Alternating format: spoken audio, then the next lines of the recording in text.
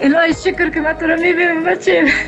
Na ngiriona kodaya, ngiriona kollega televisie ze ja saai mee kan. Kerst is de tijd waarin familie elkaar terugziet.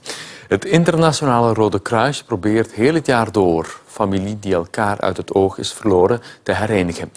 Voor het eerst heeft nu een Afghaanse vluchteling in België via de speciale tracing site van het Rode Kruis zijn familie teruggevonden. Carlijne Everaat was bij hun eerste Skype-gesprek.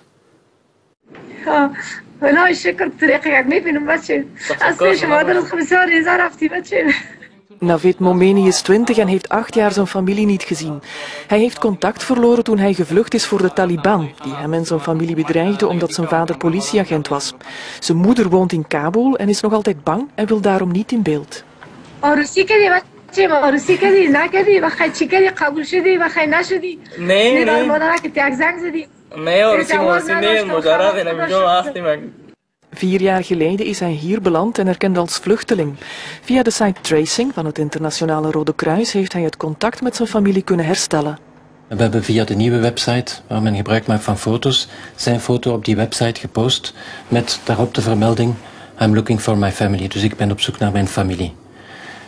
Die foto's zijn verspreid in Afghanistan en daar heeft zijn familie hem erkend.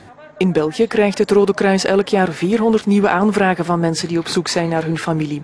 100 van hen vinden opnieuw contact zoals Navid. yeah inside so I don't know how how to tell to how was my feeling and how was my heart so that's why I'm very happy